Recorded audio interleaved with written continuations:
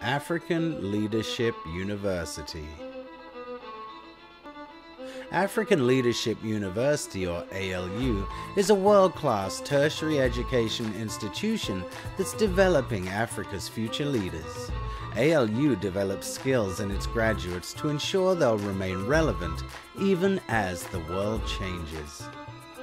The university develops its students intellectually, provides them with work experience, and develops their whole being. ALU is opening campuses around Africa that will ultimately train 3 million entrepreneurial ethical leaders for Africa and the world by 2060. ALU welcomes students from all around the world to its campuses in Mauritius and Rwanda.